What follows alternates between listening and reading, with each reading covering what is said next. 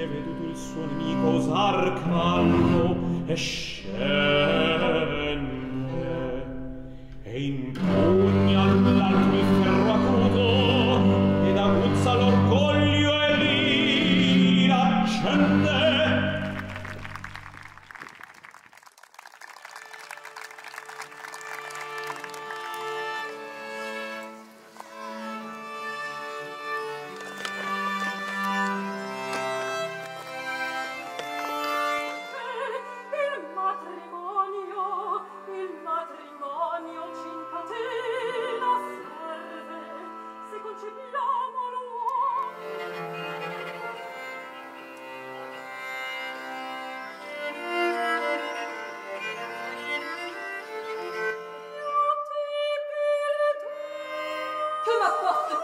Le combat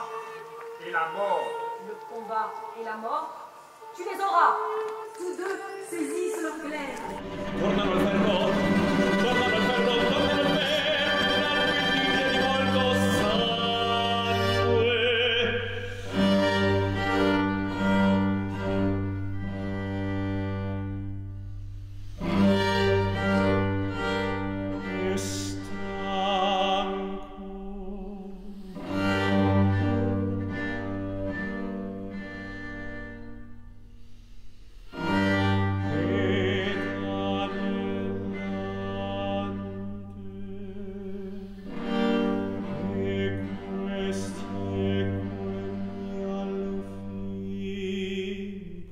si ritira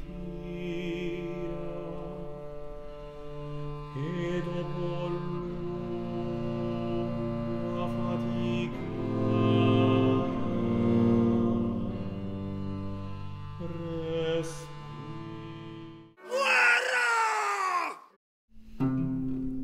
in queste voci languide risuona un non so che di fe nave che al cor mi scende ed ogni stegno amorta e gli occhi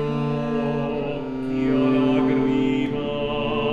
rincoglie sforza.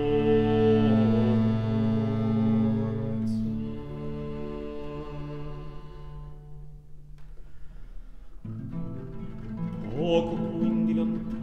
essendo un monte scaturia mormorando un picciolo